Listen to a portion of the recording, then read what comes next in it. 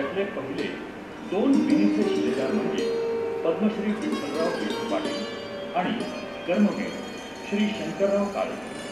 स्वातंत्र्यपूर्व काळात जी काही सहकार चळवळ या जिल्ह्यात उभी राहिली त्या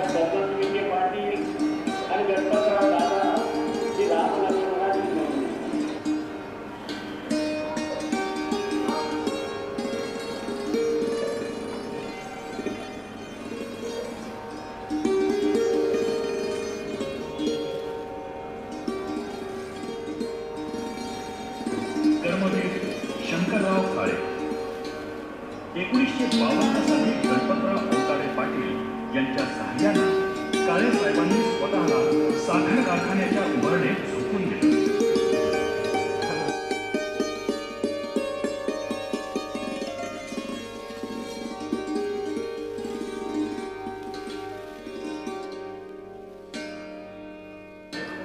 संयुक्त महाराष्ट्राच्या निर्मितीनंतर यशवंतराव चव्हाणांनी पंचायत राज संकल्पना प्रदर्शन जिल्हा परिषदांची स्थापना